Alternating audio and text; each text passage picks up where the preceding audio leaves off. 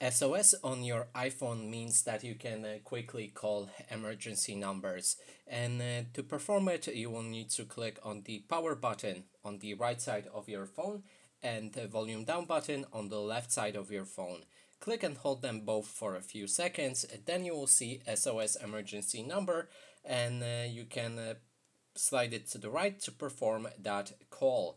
And that's it for this video. Hope you like it. Please consider subscribing to our channel, leave a like and a comment below.